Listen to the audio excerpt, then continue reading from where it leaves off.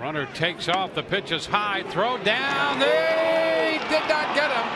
Now he's off the bag, and they're going to have him in a rundown. Robertson to Beckham, and Beckham gets the tag. So the Rays eliminate the base runner. Not exactly the way you'd plan it, but Gordon gave him the opportunity off the bag, and they get him in the rundown.